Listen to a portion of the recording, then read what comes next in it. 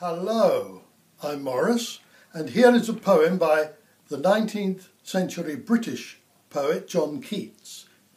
It's called On First Looking Into Chapman's Homer. John Keats did not have a classical education. He could not therefore understand Homer in the original Greek. But when he discovered the English translation of Homer by George Chapman, he was filled with wonder and joy. He expresses this in his poem and compares his feelings to those of an astronomer who finds a new planet, or of Cortes, the Spanish explorer and conqueror, who discovers the Pacific Ocean as he stands with his men in Darien, which is now called Panama. I illustrate the poem with pictures of Keats and other relevant pictures.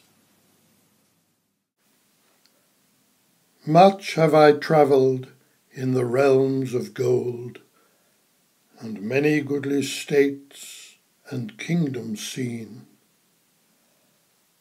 Round many western islands have I been, which bards in fealty to Apollo hold.